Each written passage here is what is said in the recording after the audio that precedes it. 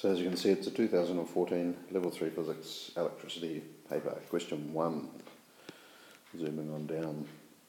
Uh, AC, the ideal transformer shown below. Ideal transformer means uh, we're going to get 100% of the power transmitted um, or transformed through the transmission.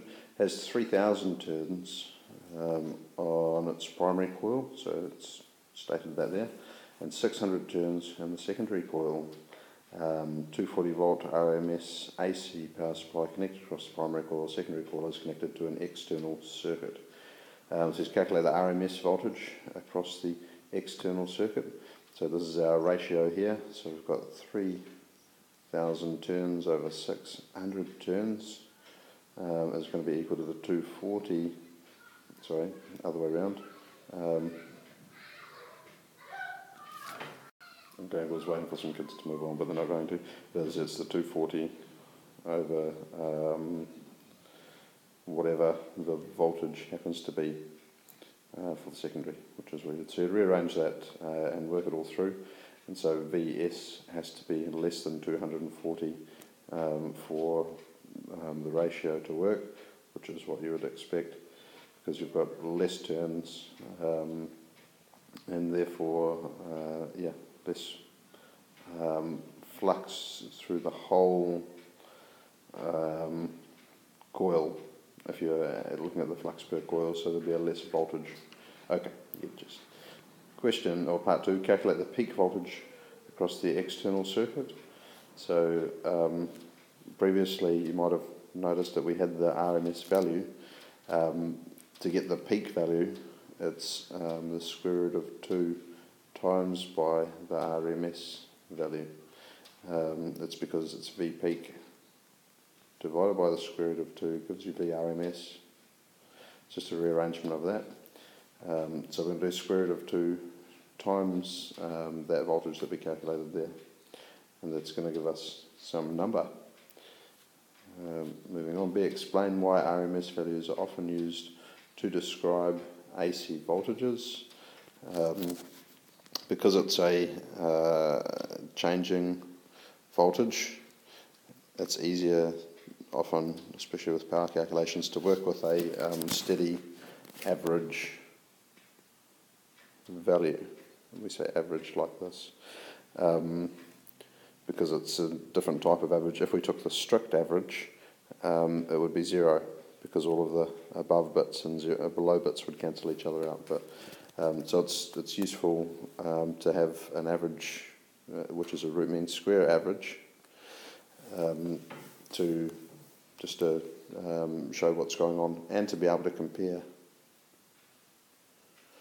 to DC. So that's that's really the biggie.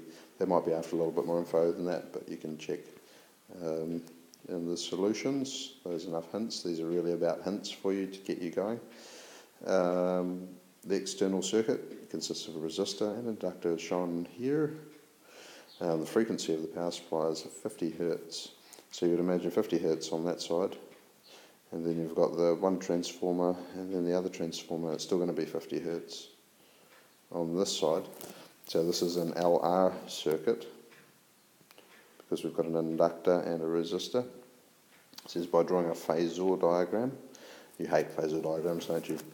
Um, by drawing a phasor diagram, show how the impedance of the external circuit can be calculated.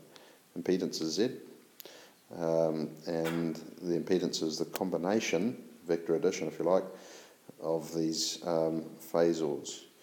So we've got the resistance, the one we always draw um, to the right, the um, that's R, and then um, the inductor is producing um, the inductor leads, you can do that whole civil thing if you like, VIL.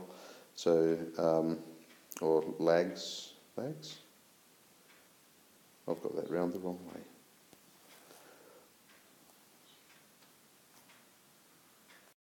Okay, I'm not exactly sure where I was up to there. I, th- I think I was second guessing myself about uh, where um, the impedance for the inductor should be. Um, following the civil one, if you remember that, um, the, uh, the, the phasors rotate um, anti-clockwise, um, and the inductor is ahead of, of the, um, the voltage, uh, uh, the current, I should say, and the capacitance is behind the current, and the current follows with the resistance anyway, and the voltage for the inductor. And anyway, so I was second guessing myself, got interrupted with a visitor. Carrying on. Okay, so this is the correct phasor diagram um, for that. XL, we have to calculate um, from uh, 2 pi, um, excuse me, F uh, L, in fact it's 1 over. No, it's not. I'm second guessing myself far too many times at the moment. Um, anyway, you calculate the inductance, um, you've been given your resistance there, and from that you can do your calculation, that's XL, just shift it across to the side um, to find your Z value. Use a bit of Pythagoras.